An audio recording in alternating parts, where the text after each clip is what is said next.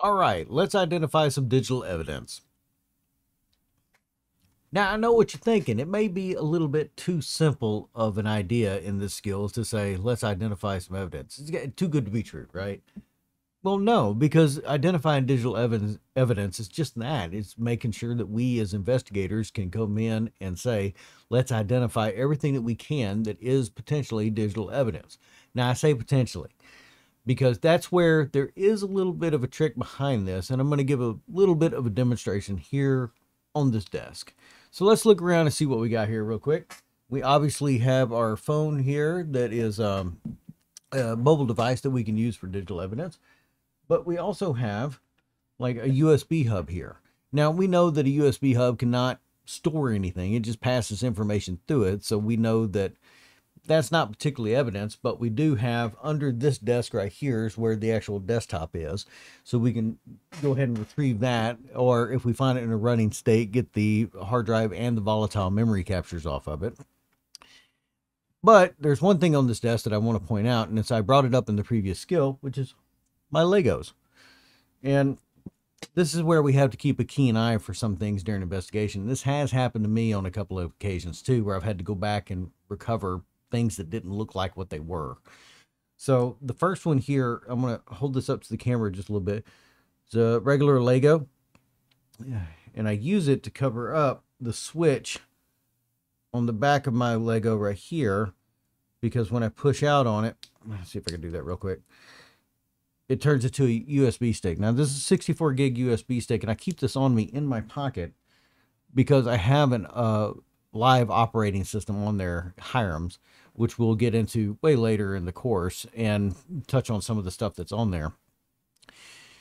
But this is kind of stuff that we have to look out for when we're scanning the scene because the first part of the investigation is is that we go in and identify what's actually going on as far as the uh, on scene portion we don't touch anything we just make sure that we can see everything log everything that we can because that's part of the identification process. Okay, so we all know that I like doing real world examples, and another piece of digital evidence or in, uh, during the investigation process that may hide underneath our noses sometimes is the modern vehicle or modern electronic device in our household. Now I want to show you with my personal truck here how this can be used as digital evidence. As luck would have it, it didn't record right, so I'm having to do this again.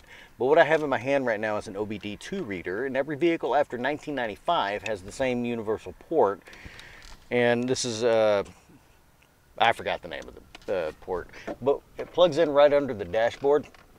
And the reason that we do this is because we can retrieve digital evidence from this truck.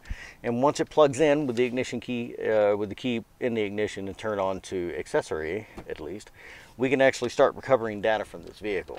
Now, let me get in frame shot here because I've got this tilted a little weird, but where would this come in handy? Um, we would be able to read mileage even though, let's say, the physical odometer is rolled back or the LED display on your dashboard is uh, saying something else.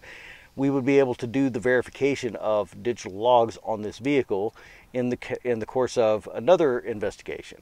Let's say we want to verify that somebody actually drove on a certain day and how much mileage that they drove since their last fill up.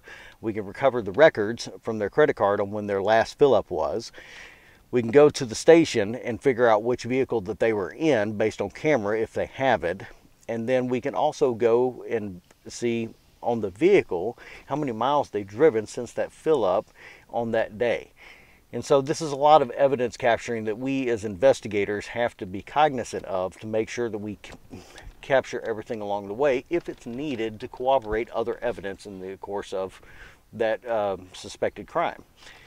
Now, there's also another common thing with vehicles, especially as digital investigators working at the local uh, with the local LEOs, and that is the uh, breathalyzer ignition lock. And so there's a lot of log tampering with those and people trying to get around that. And that interfaces directly with the vehicle's CAN bus system, which is usually on the ECM underneath the hood uh, near the car battery. Now, is that important to know all the time? Absolutely not. And we've talked about this already. We're jack of all trades, master of none.